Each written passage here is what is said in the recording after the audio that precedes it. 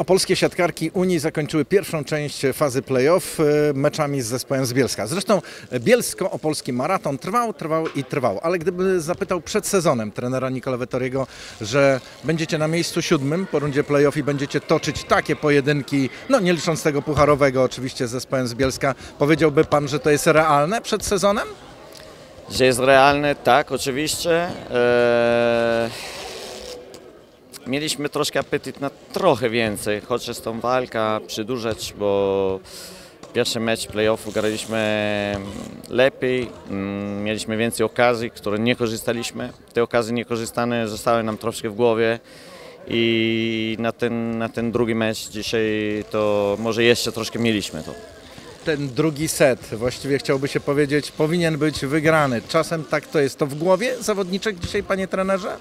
Nie no, jest zasługa też e, przeciwników, bo grali naprawdę rewelację od tego momentu, jak byli mm, kilka punktów do tyłu. Minus sześć. Minus 6, weszła mm, Regis Bidias, która nasza znajoma i w takim Skończyła tego seta zresztą. tak, bo w takiej, takiej momencie ona daje, daje taką stabilność i, i my nie poradziliśmy sobie ze sobą, ale jeszcze bardziej z przeciwnikami, bo zaczęli grać perfekcyjnie, bezbłędne i korzystali każde nasze nie, niedokładności.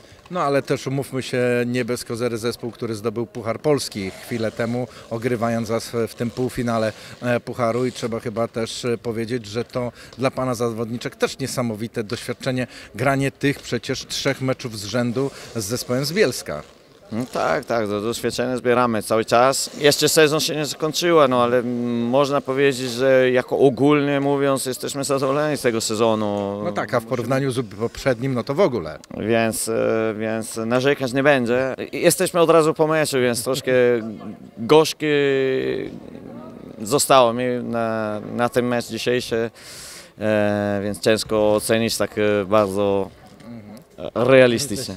No tak, to były emocje, zwłaszcza po tym drugim secie. E, Natomiast, e, pa- panie trenerze, taka ogólna ocena, tak jak pan mówi, zostają mecze jeszcze o siódme i ósme miejsce, e, które już wiadomo, że podniesie nasz zespół w stosunku do ubiegłego sezonu, ale gdzie znalazłby pan plusy tej pracy kolejnego sezonu w Opolu ze swoimi dziewczynami? Mieliśmy mm, jeden część sezonu bardzo, bardzo dobry i dokładnie, który był pomiędzy e, grudzień i styczeń e, i troszkę traciliśmy ten, ta siła i ta szybkość e, w ostatnich e, w ostatni miesiąc. Anna Karina, to odkrycie ligi, prawda?